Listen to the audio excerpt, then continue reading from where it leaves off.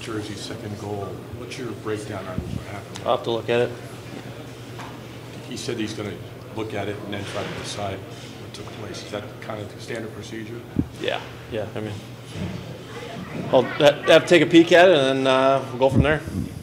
Nick, how frustrating is it that you guys pretty much largely outplayed the Devils most of the game, and it's just those lapses in the third period that cost you guys?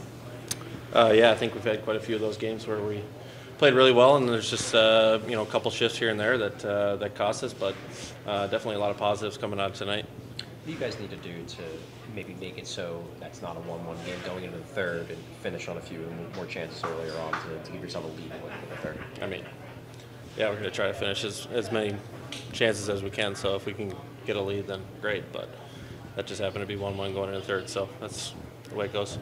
After going down 3 1, what was kind of the mood like on the bench as you guys tried to muster up a response? I mean, I thought we responded well. I mean, we got a goal there, and then we got called one called back. So um, we definitely didn't quit. So there's no quit in this group.